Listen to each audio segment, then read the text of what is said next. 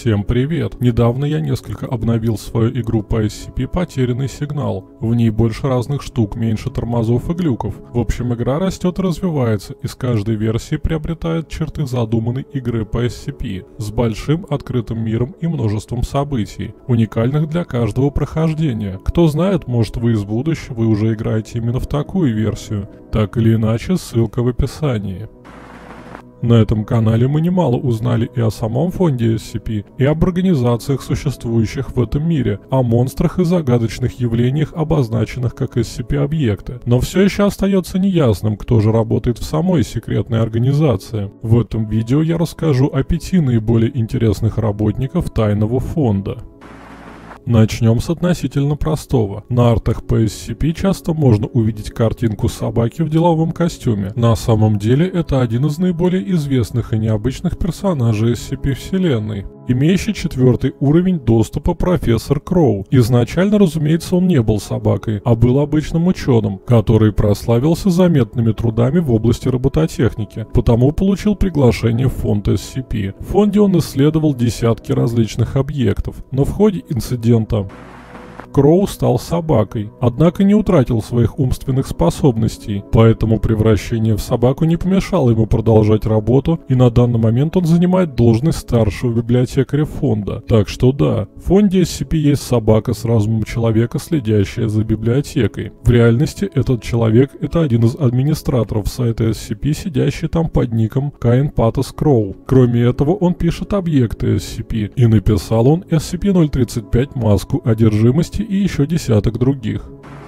Еще один сотрудник фонда – это доктор Гирс. Это достаточно непримечательный человек, всегда спокойный и рассудительный, ничего не боящийся и не проявляющий эмоции даже в самых сложных ситуациях. Из-за этого ходят слухи, что он и не человек вовсе, а робот или какая-то аномальная сущность, но сам Гирс это отрицает. Он работает в фонде SCP практически с самого его основания по сей день, а значит как минимум обладает аномальным долголетием и живет уже больше ста лет. Ему открыты все двери фонда, и он изучил большинство SCP-объектов. Благодаря своему особому пониманию мира, ни разу не пострадал и не попал под влияние ни одного из них. Его мировоззрение заключается в том, что миру нет никакого дела до человека, а каждый человек живет сам по себе в совершенно пустом для него мире, который работает не как какой-то замысел или там судьба, а как простая сумма всех его параметров и законов, которые вместе образуют подобие хаотичного механизма. В некотором смысле это его миропонимание понимании это его суперспособность. Оно позволяет ему придумывать условия содержания для самых опасных и нелогичных объектов и находить способы выбираться из самых сложных ситуаций. Персонаж Гирса может и не очень интересен сам по себе, но реальный Гирс это не только администратор сайта SCP, но и автор более 50 объектов, среди которых такие как SCP-084 статичная радиомачта, SCP-106 старик, SCP-682 неуязвимая рептилия, SCP-914 часовой механизм, механизм. Да можно сказать, большинство самых известных и популярных SCP-объектов придумал Гирс реальный и содержит в фонде SCP его персонаж.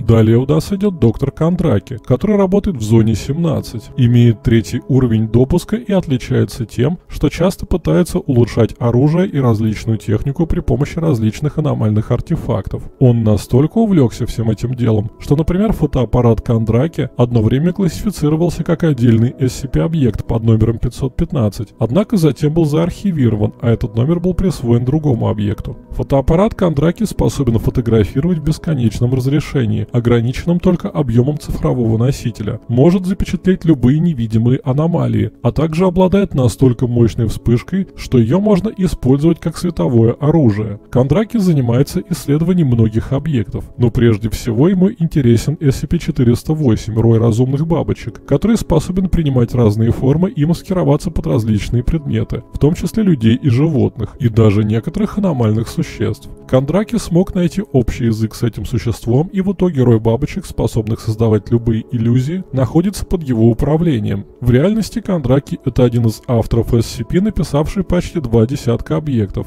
хотя в целом особенно заметных или популярных среди них нет, так что идем дальше.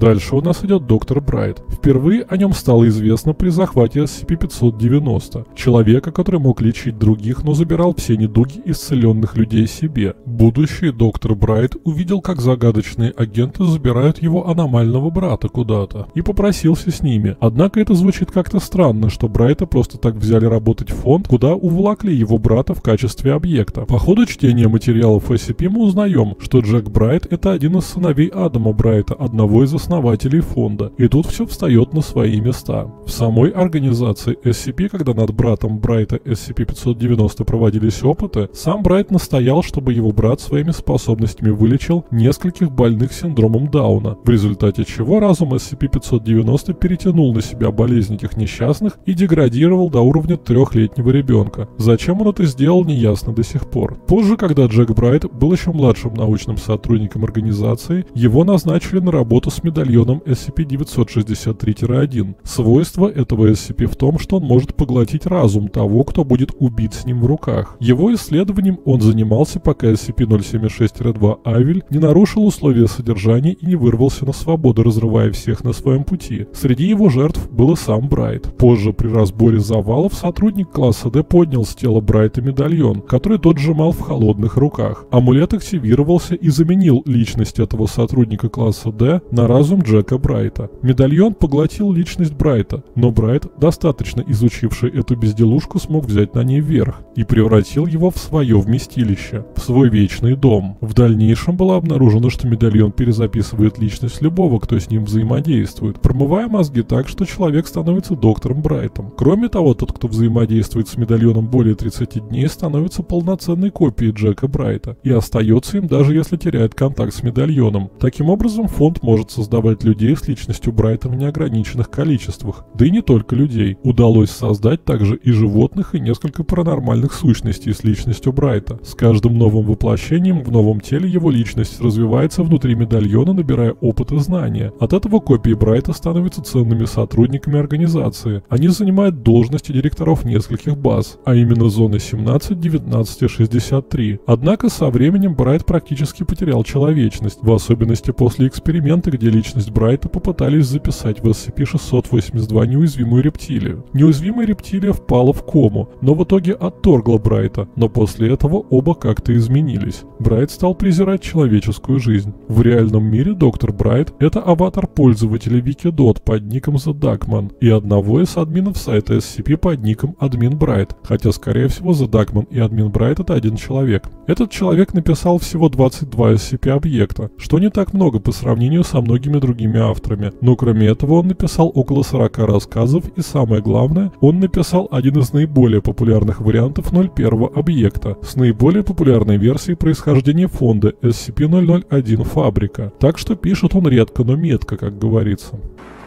И, наконец, наверное, самый загадочный и при этом известный сотрудник фонда, доктор Клев. Ни про кого другого нет столько фанатского творчества, как про него. Так чем же он так знаменит? Доктор Клев работает в фонде SCP ученым с четвертым уровнем допуска и сам является аномальным существом, лицо которого невозможно сфотографировать. На всех фотографиях лицо заменяется различными объектами, например, огромной головой паука или змеями. Настоящее лицо Клефа отличается от лица нормального человека тем, что у него очень крупный рот, от чего он может улыбаться буквально от уха до уха. Также у него имеется третий глаз. Несмотря на то, что Клев серьезно относится к своей работе в фонде, по поводу всего остального он постоянно врет. Более того, часто называет себя отцом всей лжи. Потому о его происхождении известно крайне мало, а о нем самом ходят самые дикие слухи. Личное знакомство Клефа с различными древними существами, например, с Лилит, говорит о том, что существует он очень давно, однако фонду об этом мало мало что известно. Из-за всего этого постоянно происходят попытки присвоить ему номер SCP и начать содержать как объект, но как-то до этого не доходит. Необычные умения и познания Клефа делают его ценнейшим сотрудником при работе с опасными аномальными объектами. Считается, что доктор Клеф когда-то был студентом биологии биологом, научная работа которого обратила на себя внимание фонда тем, что в ней явно описывается предмет, нарушающий законы физики и биологии. Когда фонд вышел на Клефа, от него был получен